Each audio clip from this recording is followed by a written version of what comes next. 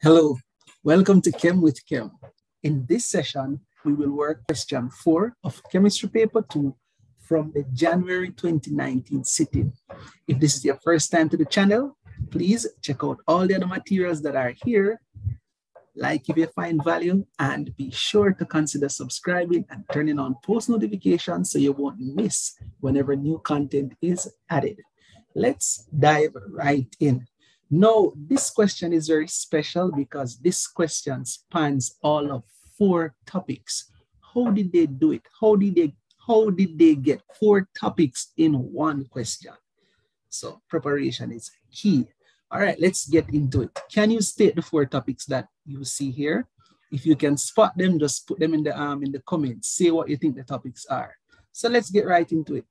Uh, we want to go as fast as well as quickly as possible without compromising quality. So let's go.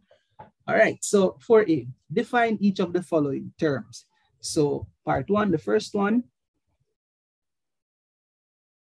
atomic number. Atomic number refers to the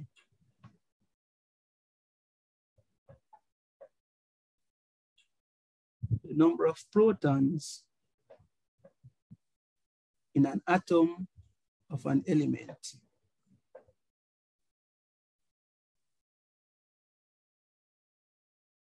Mass number, this refers to the sum of the protons and neutrons in an atom of an element.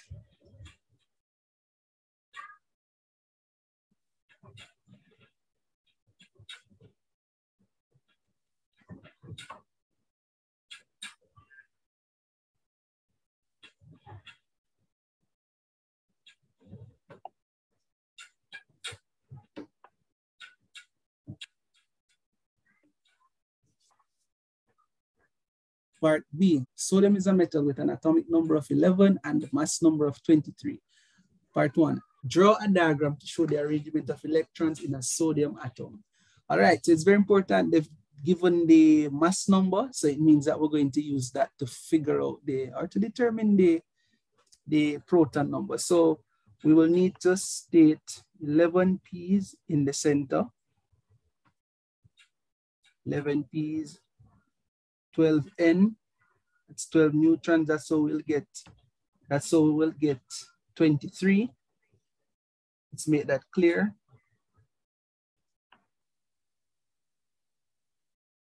Then normally put a little circle to show that that's the nucleus. And we're going to be putting our 11 electrons. Two on the first shell, eight on the second shell, eight plus two, 10. The 11th one on the third shell, two, eight, one. Part two of B, state the period to which the element sodium belongs in the periodic table. So we just mentioned two, eight, one. So that means we have three electron shells. So it means it would be in period three describe the type of bonding in sodium metal. So it's sodium metal. So they're talking about um, metallic bonding. So we're going to just get straight to the point. We would have sodium ions, also known as cations. They're positive ions or they're positively charged cations. And so these cations or these sodium ions are embedded. Keyword there, embedded. Some students will say stuck. They're embedded in what is called a sea of mobile, or you could say delocalized electrons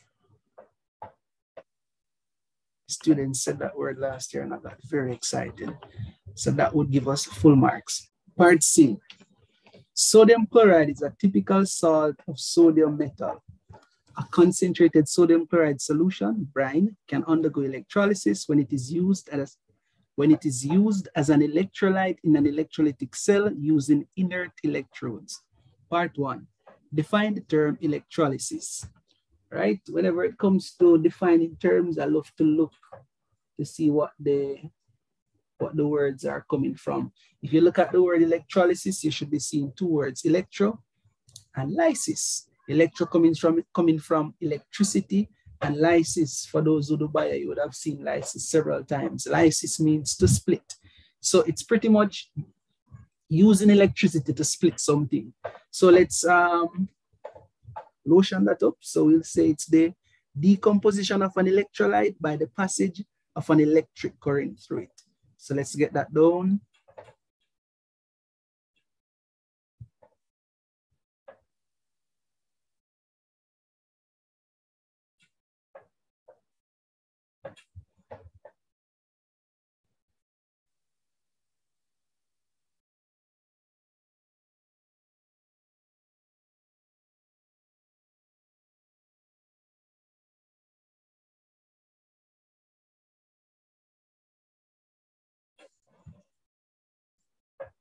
Two marks.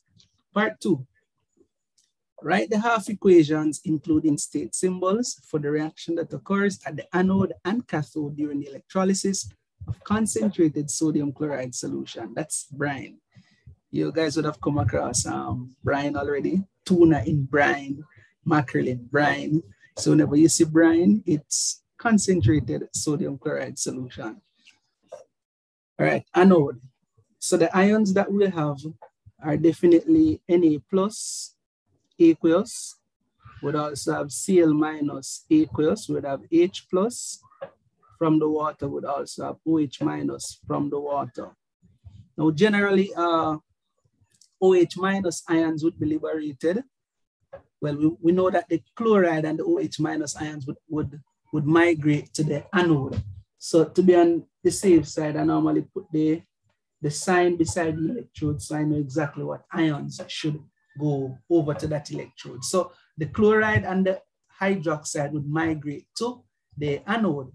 But because we're talking about concentrated sodium chloride, it means that we have a larger, a relatively larger amount of chloride ions than OH minus ions. So in this case, instead of the OH minus ions being liberated or being given the nod, to be set free, the chloride ions would, would be given the nod.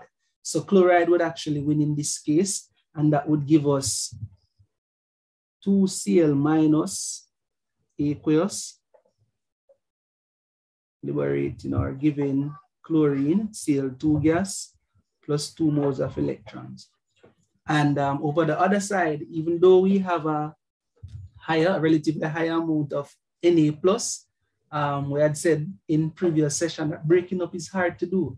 So the sodium would not be liberated um, preferentially to its counterpart, the hydrogen, the H plus ions. It still takes too much energy to actually pull apart or break up the, the, the, the Na, the Na plus ions from the chloride ions. So in this case, the H plus would be given the Sodium is higher in the reactivity series. So in this case, it would require too much energy to actually break, break apart the ions. So sodium ions would be liberated. So in this case, the H plus would be given the nod. So please note how we write um, reduction plus electrons. And we end up with the hydrogen gas and we write um, oxidation, we have the species being oxidized, then the arrow. So we must end up with, when we put the two equations together, we must end up with electrons on the right-hand side and electrons on the left-hand side. And that's, that's how we actually cancel them. We're not going to cancel them out right now. All right. So this would um, give us full marks and Nothing else is asked here. So that is it. We just need to give these um, half equations, state symbols, ensuring that they're balanced and we're good to go. And just like that, would have just like that, you got 50 marks. So please um, leave your comment. What four topics were covered in this question? Write them. Let's see um, how sharp you are, how much you're um, spotting your questions. You're studying chemistry, but we have to break it down in modules and in topics, then in subtopics. Let's see if you can spot the hmm. topics that were covered in this one question. Thank you for joining Chem with Kem. If you haven't subscribed, please consider doing so and also clicking that bell so you will not be so you'll not miss out when new content is added. You'll be notified. So couple later.